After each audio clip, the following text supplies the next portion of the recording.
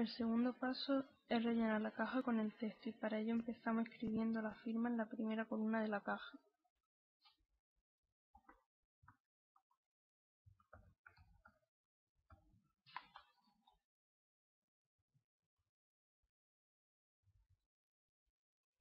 Seleccionamos el texto y en la barra de dimensiones cambiamos la fuente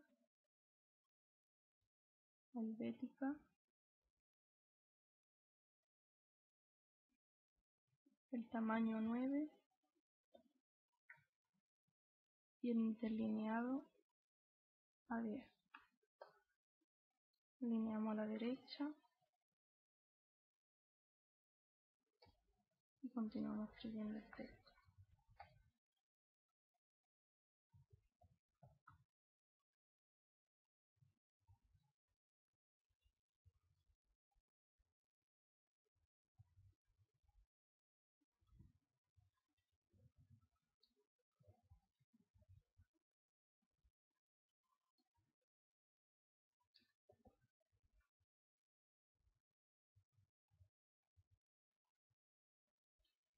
Seleccionamos el texto y le cambiamos el estilo.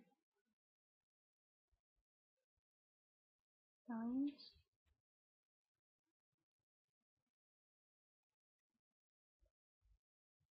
Tamaño 12. No a 9. Interlineado a 10 también. Seleccionando todo el texto nos vamos a estilo, formato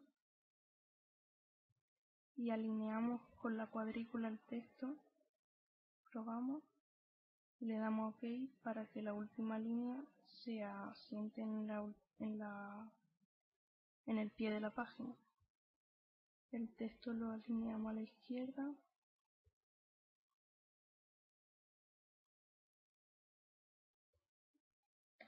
y continuamos escribiendo